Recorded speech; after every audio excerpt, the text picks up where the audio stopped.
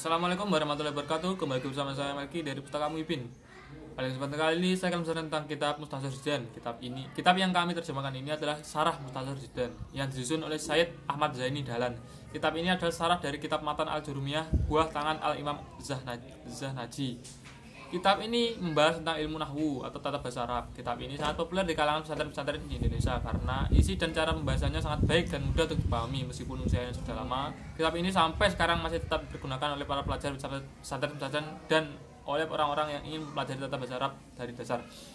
Kitab ini memang sangat baik digunakan oleh orang-orang yang ingin mempelajari tata bahasa Arab dari tingkat dasar untuk mempelajari ilmu nahwu. Namun demikian bisa juga dipergunakan untuk dipelajari, dipelajari oleh murid-murid tingkat sanawiyah dan aliyah sebagai buku penunjang dalam pelajari bahasa Arab untuk kitab ini. Silahkan kunjungi website kami di www.pustakami.com. Wassalamualaikum warahmatullahi wabarakatuh.